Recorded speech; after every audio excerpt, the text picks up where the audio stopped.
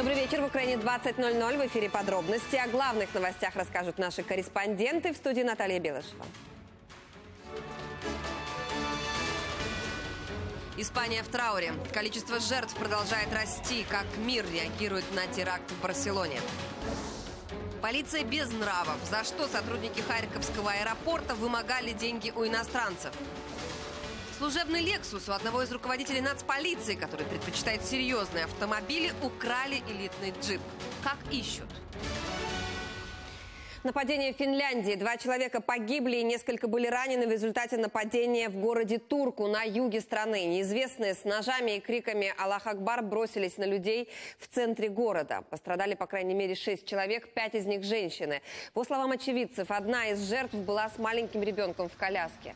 Нападающих, по предварительной информации, трое. Полиция открыла огонь по злоумышленникам. Одного из них удалось ранить и задержать. Остальные, вероятнее всего, скрылись. Правоохранители просят людей воздержаться от прогулок по центру города. Это может быть небезопасно. Но внимание всего мира приковано к шокирующим событиям в Испании. 14 человек погибли, около 130 были ранены в результате теракта в Барселоне. Боевики атаковали центральную улицу города, где всегда много туристов. В службе гражданской защиты в Испании уже сообщили, погибли и пострадали граждане 34 стран мира. Украинцев среди них нет. Хронология событий в нашем материале. Барселона, центр города, четверг, 16.50. На этих кадрах видно, как люди переходят улицу. Вдруг они начинают бежать. О том, что они убегают от смерти, станет известно через считанные минуты. Белый фургон «Фиат» на скорости 80 км в час протаранил толпу и давил людей на улице Рамбла, в самом сердце города. Напуганные люди бежали и кричали, на их лицах была кровь. 80 километров к северу Барселоны, город Вик. Четверг, 18.30. Полиция нашла второй фургон, который террористы использовали для побега. Удалось установить и владельца машины. Это 28-летний марокканец Дрис Укабир. Но во время нападения он находился в другом городе. Испанские СМИ сообщили, документы у мужчины украли, а машину арендовали без его ведома. Главным же подозреваемым считают 18-летнего брата марокканца Мусу Кабира. Предполагают, что именно он взял в аренду фургон и, возможно, был за рулем. Юношу до сих пор ищут. Очевидцы сообщили полиции, как он выглядел.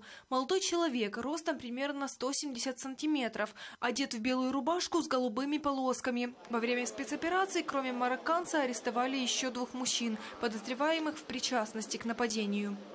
Один из подозреваемых марокканского происхождения. Его арестовали в Риполе. Второй испанец из Мелилии.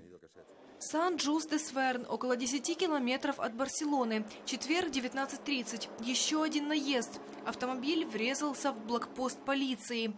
Пострадали двое правоохранителей. По водителю открыли огонь. Он погиб на месте. Причастен ли он к теракту, власти сомневаются. Камбрильс, пятница, час ночи. Прошло всего несколько часов после теракта в Барселоне, а террористы уже предприняли новую попытку нападения. На авто они таранили пешеходов. Правоохранители открыли по нападавшим огонь. В перестрелке всех пятерых ликвидировали. На нескольких из них были пояса смертников, но, как позже оказалось, фальшивые. В больнице от полученных травм погибла женщина. Семеро человек травмированы, один из них полицейский. В городе Камбрильс террористы пытались повторить тот же сценарий, что и в Барселоне. Это была очень длинная и тяжелая ночь для нас. Я хочу выразить слова поддержки всем пострадавшим, поблагодарить полицию и всех, кто помогал. Я хочу выразить солидарность всей Испании с Барселоной, пострадавшей сегодня от джихадистского терроризма, который поразил ранее и другие города в мире. Ответственность за теракт в центре Барселоны взяло на себя исламское государство. Первые результаты расследования испанской полиции показали, что группа, совершившая теракты в Барселоне и в городе Камбрильс, состояла из 12 человек. Не нашли пока четырех, в том числе водителя микроавтобуса. Людмила Панасюк, Виктория Кушмарук. Подробности телеканал Интер. Сейчас в Барселоне находится моя коллега Ирина Иванова. Она с нами на прямой связи. Ира, здравствуй. Появились ли новые детали? Что происходит в Барселоне сейчас?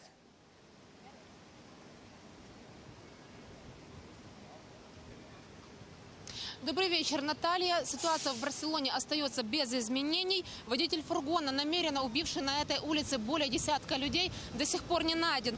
Город понемногу возвращается к привычной жизни. Но в то же время появляются интересные подробности о теракте, который планировали террористы устроить накануне в туристическом городе Камбрильс. Оказывается, четырех из пяти злоумышленников убил один полицейский. Сейчас правоохранители утверждают, что ситуация в этом городе уже под контролем. Местные отмечают, что туристов на пляжах стало значительно меньше. У нас тут завжди було багато туристів, і я думаю, що можливо їх налякає на деякий час. Що хочуть туристи так? Вони хочуть нас налякати. Але в принципі їм це не вдасться. Полиция предполагает, что все случившиеся в Каталонии теракты планировала группа людей в городе Алканар. В ночь на среду там случилось еще одно происшествие – взрыв в жилом доме. Возможно, сдетонировало самодельное взрывное устройство, которое злоумышленники хотели использовать в очередном теракте. В самой Барселоне туристическая жизнь продолжается. На центральной пешеходной улице, где случилось э, происшествие, сегодня многолюдно. Э, с утра заработали кафе и магазины. После обеда открыли проезд в центре города э, транспорту. Люди прогуливаются, снимают на видео место происшествия, возлагают цветы. Э, полиция буквально на каждом шагу. В городе также много журналистов. И несмотря на запрет местных властей, люди устраивают импровизированные демонстрации э, в поддержку пострадавших и против терроризма. Студия. Спасибо, Ира. Ирина Иванова была с нами на связи из Барселоны.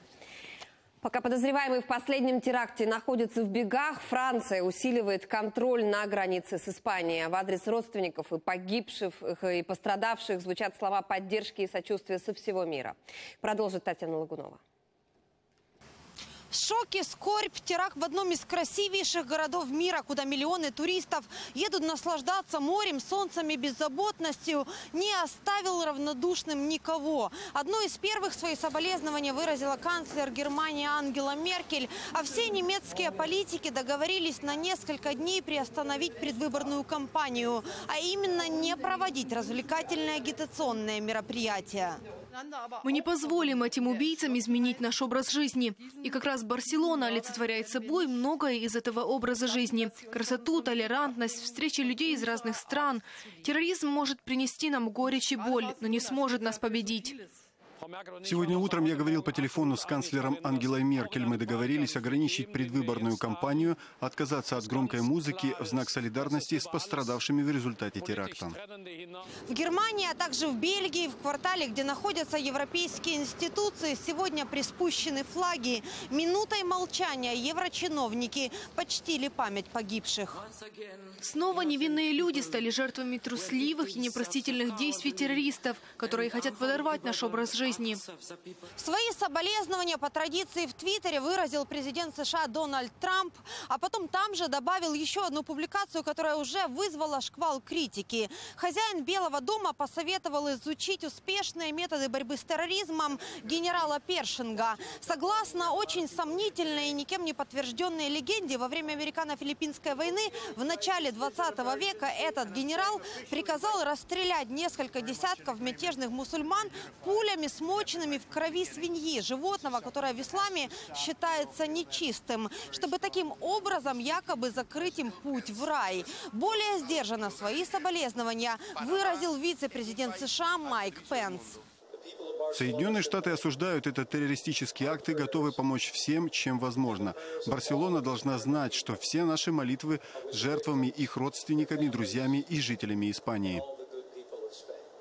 Резкое заявление прозвучало и в Варшаве. Министр внутренних дел Польши заявил, что в его стране такие теракты невозможны, поскольку она не принимает мигрантов с Ближнего Востока и Африки. И добавил, что Европу спасет только политика закрытых дверей. Впрочем, подобные провокационные заявления сегодня скорее редкость и исключение. Люди выражают соболезнования и не только политики, но и звезды спорта. Криштиану Роналду, Лионель Месси, Рафаэль Надаль и многие-многие другие опубликовали на своих официальных страницах слова поддержки родственникам погибших и пострадавших. Татьяна Лугунова, Павел Лысенко. Подробности Европейское бюро телеканала «Интер».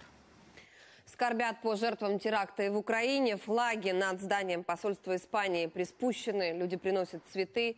Киевляне соболезнуют родным и погибшим, а также пострадавшим в результате теракта в Барселоне. Мы э, опечалены, и мы им сочувствуем полностью, и понимаем, насколько им там печально, и после этого тяжело. То, что в Барселоне, это опять подтверждение тому, что в мире неспокойно, что мы сидим все, как, э, все на, барах, на пороховой бочке. Э, то, что там произошло, в любой момент может и в Киеве произойти, и где угодно. ЦРУ еще два месяца назад предупреждала полицию Каталонии о возможных терактах. Об этом сообщает испанская пресса. Более того, в Центральном разведывательном управлении даже назвали улицу Рамбла среди возможных целей исламистов. Что же касается методов атак, то за последние два года террористы восемь раз использовали автомобили. О самых крупных нападениях в короткой справке. Ницца, Лазурный берег Франции, разгар сезона. Во время салюта в честь Дня Бастилии 19-тонный грузовик протаранил толпу людей на знаменитой английской набережной. 86 человек погибли, более 300 ранены. Злоумышленник, выходец из Туниса Мохаммед Лауэж Булель, был застрелен полицией. Берлин, рождественский рынок. На заполненную людьми территорию въехала фура. Под колесами погибло 11 человек. Более 50 получили ранения. Нападавший тунисец Анис Амри пустился в бега. Спустя пять дней погиб во время перестрелки с полицейскими в Италии. Столица Швеции, центральная пешеходная улица. Грузовик въехал в толпу людей и протаранил торговый центр. Погибли пять человек, 14 получили ранения. Атаку совершил гражданин Узбекистана. Он задержан. Центр Лондона, мост возле Биг Бена. Автомобиль наехал на пешеходов, погибли четверо. Еще 40 получили ранения. После этого водителю удалось добраться до парламента, где он ножом зарезал полицейского, но потом сам погиб от полученных ранений. Опять центр британской столицы, знаменитый лондонский мост. Трое джихадистов на микроавтобусе въехали в толпу, а потом выскочили и начали ножами резать людей. Погибли 8 человек, ранены 48. Все трое нападавших были застрелены полицейскими. Вскоре после этого налета фургон врезался в толпу мусульман в районе Финсбери-парк.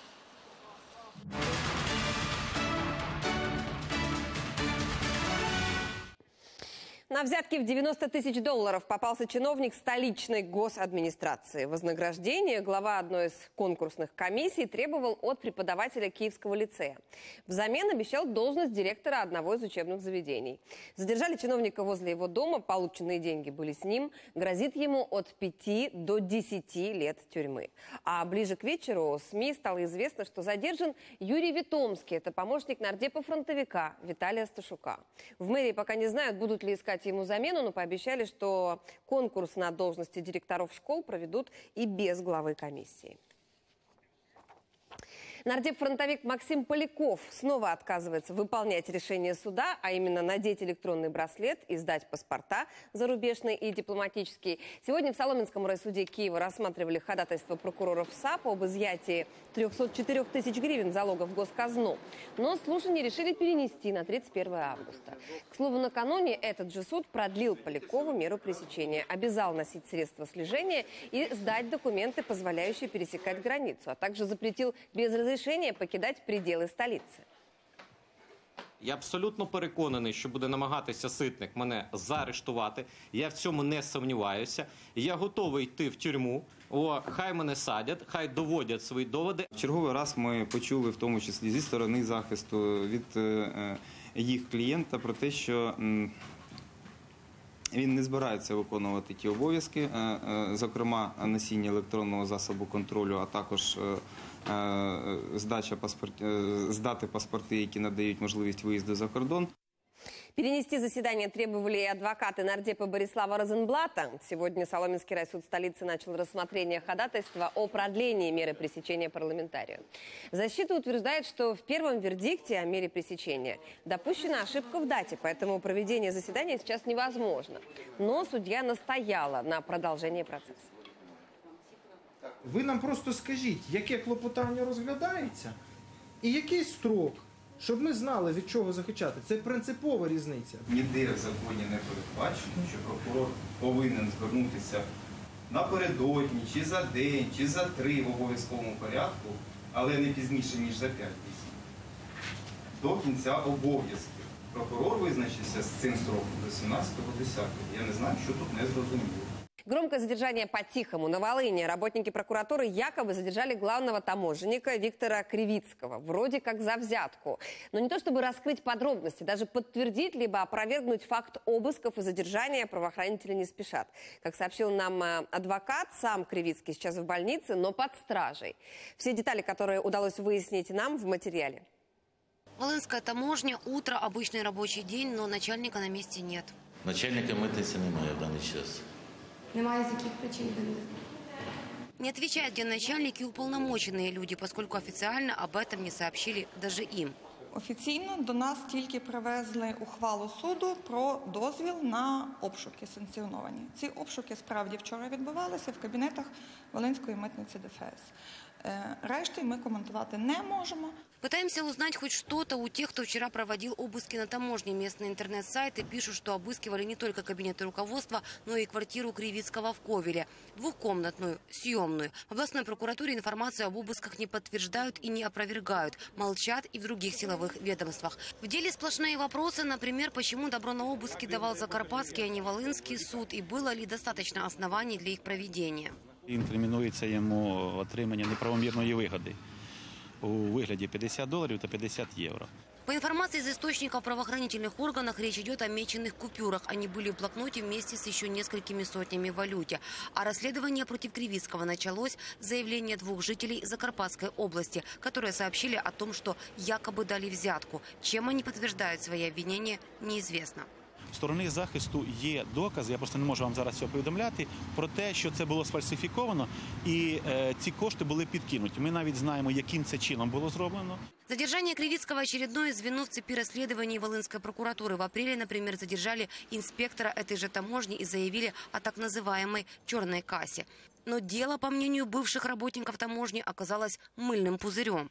Ми про чорну касу так само, да, там було, що е, затримували, вилучали кошти, було багато галасу, але ну насправді виявилося, що це кошти там приватного підприємця. Срок держания по страже Кривицкого заканчивается завтра, и прокуратура должна либо ходатайствовать об избрании ему меры пресечения и обосновать это, либо начальник Волынской таможни выйдет из-под стражи. Инна Белецкая, Николай Василюк, подробности телеканал Интер, Волынская область. Громкие обвинения, показательные задержания и никаких результатов. В МВД, к примеру, подобные шоу устраивают регулярно, но пиар не единственный бонус борцов с коррупцией от полиции. Это еще и неплохая возможность заработать. Буквально на днях мы рассказывали о скромном служащем Главного следственного управления МВД Дмитрии Буте. Мы заинтересовались несоответствием его имущества задекларированных и задекларированных доходов. Как оказалось, способов подработки у него в запасе немало. Как заработать на дом, квартиру, машину, попасть в поле зрения американского посла и не попасть в поле зрения антикоррупционеров, выясняли наши журналисты.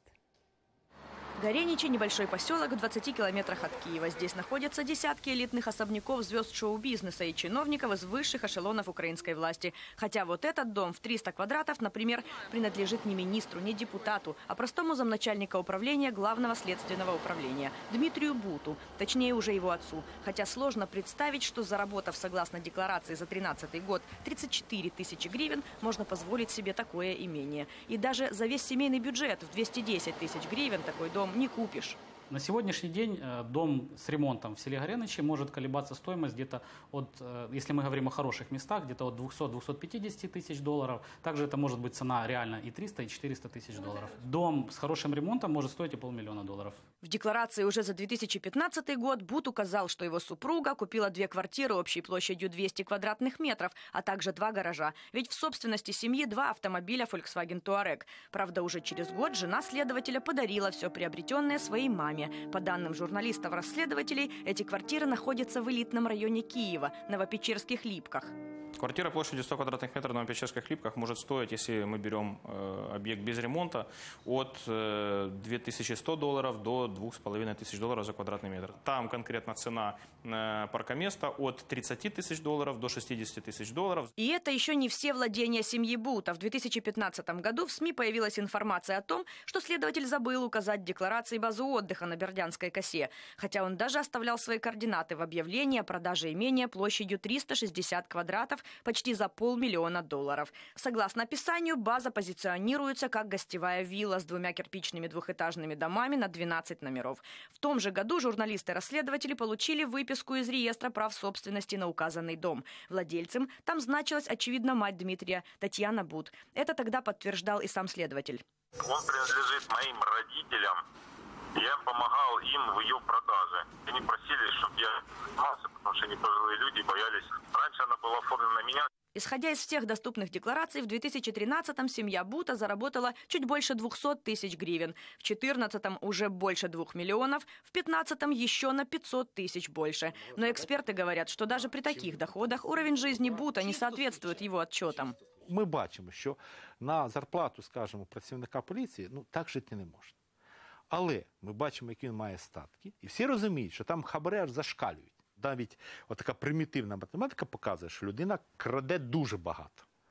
Тому що на ту зарплату, яку він отримає, ну він повинен бути їздити ну, на старенькому Жигулі і ходити майже по там перед е, е, пінжаки, які протерті кармана. Известным на всю страну Буд стал после громкого задержания в Кабмине экс-главы ГСЧС Сергея Бочковского. Но вот в определенных кругах его фамилия давно ассоциируется с заказными проверками и наездами на предприятия, а проще говоря, рейдерскими отжимами. В 2013-м, уже будучи следователем налоговой инспекции Деснянского района, он фигурирует в конфликте с компанией «Игровые технологии». Они отжимали помещения. Бизнесмены рассказывали, вломились с десяток налоговиков, начали обыск. Почему не объяснили, а их адвоката просто избили. Если это как-то идет с разнарядки свыше, то, возможно, это тоже имеет место быть. Но доказать такой вариант почти невозможно, потому что там начинается круговая порука.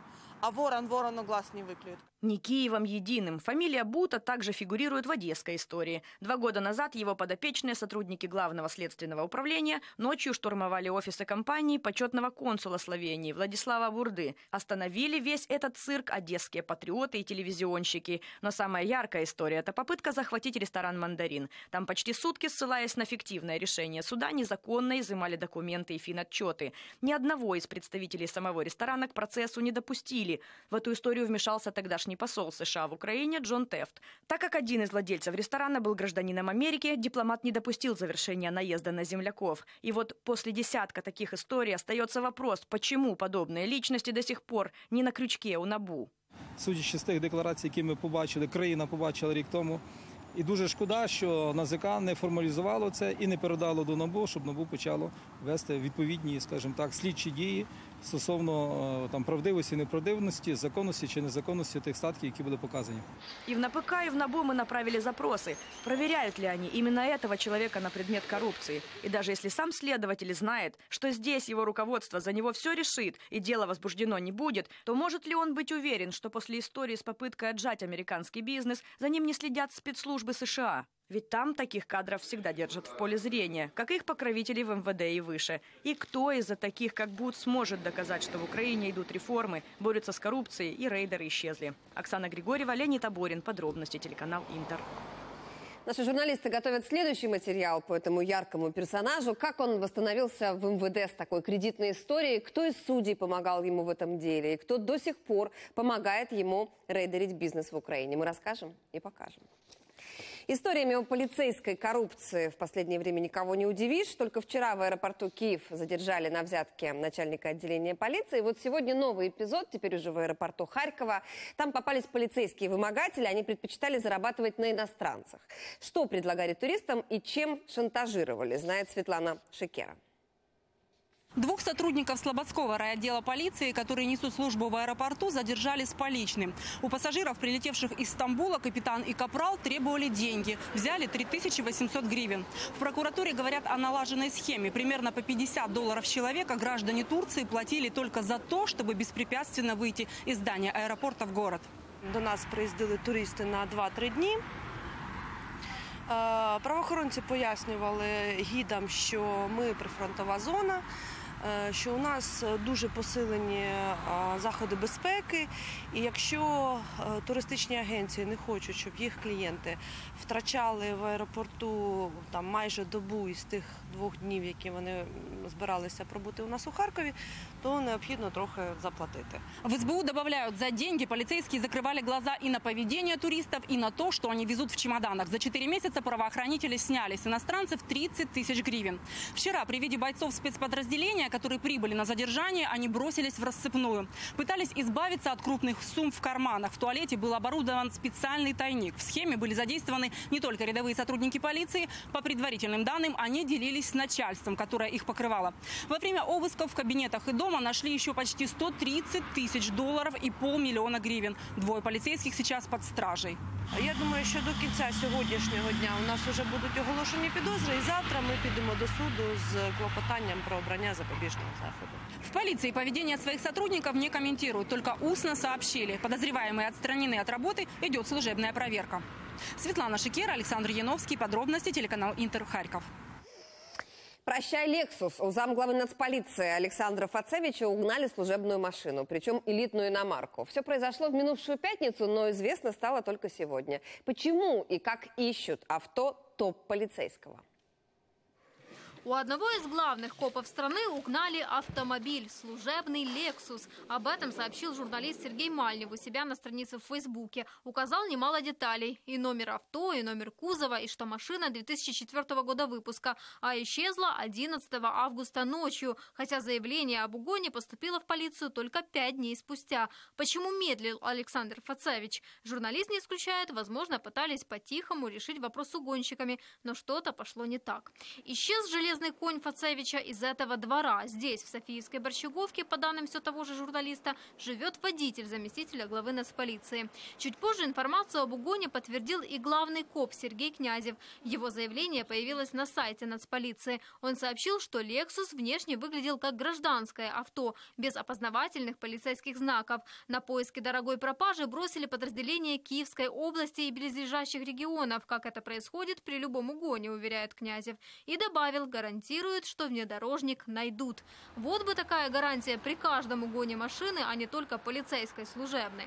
Но вопросов по-прежнему много. Почему служебное авто ночью в пятницу было припарковано во дворе жилого дома? Из-за чего так долго не сообщали об угоне? И вообще, зачем полиции такие дорогие машины? Цена на эту модель 2004 года выпуска сейчас около 20 тысяч долларов. Новая в разы дороже. Да и в обслуживании внедорожник не дешевый. И расход топлива немалый, около 20 литров. Интересно, сколько подобных служебных машин премиум-класса есть еще у нацполиции? Мы направили запрос в ведомство. Ждем ответа. Двое украинских военных ранены на Донбассе за минувшие сутки. Один сегодня. Боевики около 30 раз открывали огонь по укреплениям сил АТО. На Луганском направлении обстреливают Крымское, на Мариупольском Маринку и Богдановку. На Донецком горячие точки – это Авдеевка и Зайцево. Впродовж двох минулих днів окупанти активно обстрілювали Зайцеве з легкої зброї. І постраждали як житлові будинки, так і господарські будівлі. Руйнування були доволі серйозні, деякі будинки повністю зруйновано. От ситуации в зоне АТО и выполнения Минских соглашений напрямую зависит жизнь и работа людей на Донбассе. Об этом говорили сегодня в Рубежном. Это город неподалеку от линии соприкосновения в Луганской области. Там праздновали столетний юбилей завода «Заря». Как повлияли последние события на работу одного из старейших предприятий нашей страны? Подробнее в материале. Столетие химзавода «Заря» для прифронтового рубежного – общегородской праздник. Для жителей это не только место работы, но и семейное дело. На «Заре» сложились целые династии. Директор по развитию завода говорит, что его дедушка и бабушка рассказывали, как рождалось предприятие. А пик расцвета пришелся на 2010 год. Сейчас это для нас, для нас как бы градообразующее или бюджетообразующее э, производство. Горнодобывающее, металлургическое.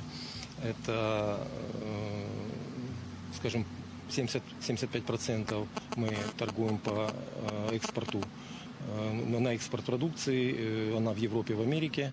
Военные действия на востоке Украины коснулись и Рубежного. В 2014 году завод остановился в целях безопасности для жителей города в связи с производством взрывчатки. Но простой был недолгим. Через месяц цеха снова запустили. И до сих пор предприятие является градообразующим и одним из крупнейших налогоплательщиков. При этом Заря взяла на себя и социальные обязательства.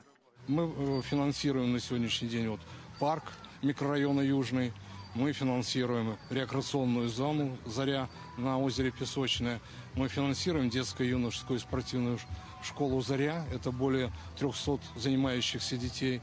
На сегодняшний день мы финансируем уже несколько лет подряд детско-оздоровительный лагерь в Кременной, там, а вот в этом году отдохнет более тысячи человек. Это предприятие социально ориентировано, социально ответственно. И это очень важно, особенно в нашем здешнем регионе, поскольку люди действительно находятся в тяжелом положении, и надо их поддержать и морально, и материально, и завод с этой задачей справляется.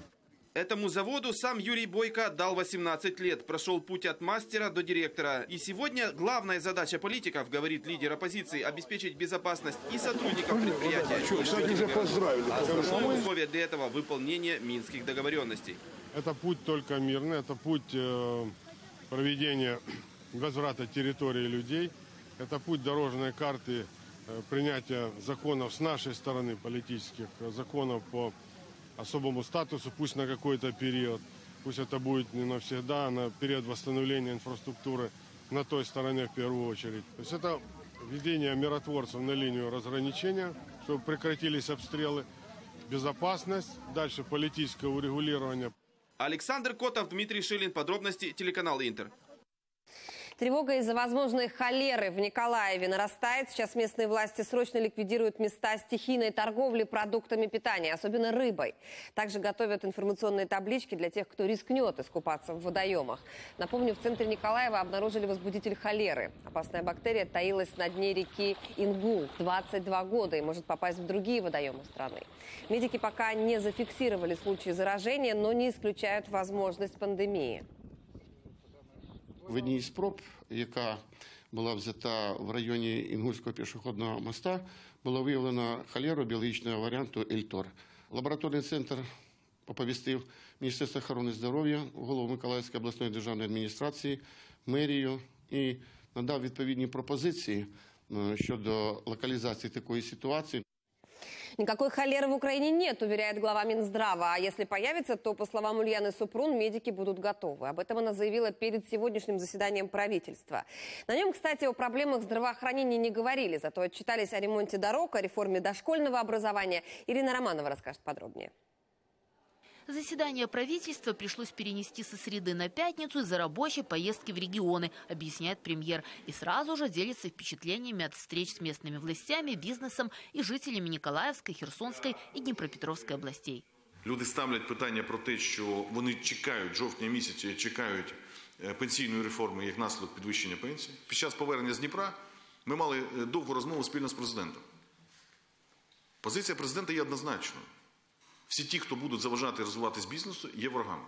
Меньше палок колеса бизнесу, больше отчислений в бюджет, уверен премьер. А значит, больше денег и на ремонт дорог. К 2020 году, обещает Владимир Гройсман, большинство из них будет в идеальном порядке. Пока же приглашает руководителя Укравтодора отчитаться о текущей реконструкции. В этом году, докладывая слова Мирновок, отремонтировали уже 600 километров. Благо денег достаточно более 9 миллиардов. Но если раньше дорожники гнались за количеством, то теперь больше контролируют качество. Щорічно na początku березня i w końcu czerwnia dwa razy w rік будемо здійснювати контроль виконання робіт і виявляти недоліки за минулий рік, як і подрядники змушені будуть ліквідувати в межах гарантій. Главу Крафтодора за трибуной сменяет Лилия Гриневич. Хвастается успехами в реформировании дошкольного образования. За три последних года, говорит, удалось сократить очереди в детсады. У 2014 році в нас в черзі було 95,5 тисяч дітей. На порозі цього навчального року маємо трохи більше ніж 65 тисяч дітей у черзі. Ніхто не має права з малку дітей привчати стояти в чергах. Тому, включно з 2020 роком, і це наш пріоритет, маємо створити всі 100% необхідних місць в дитячі садочки. Треба будувати їх Обещает премьер также повышение зарплаты учителям, но в перспективе. Пока же министры ограничились снижением тарифного бремени. На четверть сократили норму потребления газа для тех, у кого нет счетчика. Ирина Романова, Владимир Самченко. Подробности телеканал Интер. Повысить соцстандарты до реального прожиточного минимума требует нардеп от оппозиционного блока Сергей Левочкин. По словам политика, инфляция за этот год уже съела все повышения минимальных пенсий и пособий. Исправлять ситуацию нужно немедленно, поэтому оппозиционный блок потребует уже в сентябре рассмотреть законопроект о повышении минимальных соцстандартов, в частности, минимальной пенсии до 3,5 тысяч гривен, что равнозначно показателям 2013 года. Горячая новость. В Днепре загорелись склады макулатуры и пластика. Все подъезды к месту происшествия перекрыты. Черный дым виден за несколько десятков метров. Работников соседних предприятий и жилого сектора эвакуировали. Из-за задымления и сильного пламени спасатели долго не могли попасть внутрь помещения. Слышны были даже взрывы. Это взлетали на воздух газовые баллоны, которые используют на предприятии. Сейчас пожар локализован, но пока до конца не потушен. В Ужгороде суд решает, что делать с пятью задержанными за кражу солярки. Два дня назад мы рассказывали о дельцах, которые умудрились украсть 18 э, тонн солярки прямо из трубопровода. Топливо они перекачивали к себе во двор. Детали этой истории узнали наши корреспонденты. Горное село Соль. Здесь часто бывают туристы, поэтому, когда ничем не приметный дом купили приезжие, якобы под дачу, соседей это не удивило. Там ремонт робили, где-то неділю. Чи з Ужгорода, чи, з, чи за Ужгорода. Хто-то купив, ніхто фактично не знає. Стену внутри дома дельцы снесли, чтобы можно было поставить огромные бочки, в них закачивали солярку. Топливо поступало вот по этому шлангу. Тянулся он 2 километра до трубопровода, по которому перекачивали солярку.